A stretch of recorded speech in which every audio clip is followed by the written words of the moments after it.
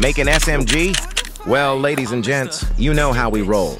You name it, we make it. That's why when our OG stress shot got a little too boring for you guys, you know we brought upgrades in the form of a Colt and Deagle, both featuring a working slide release, removable mag, and instant shell ejection capabilities. Not to mention, we then improved them further by adding a projectile shooting feature on top, along with snappier recoil and better designs.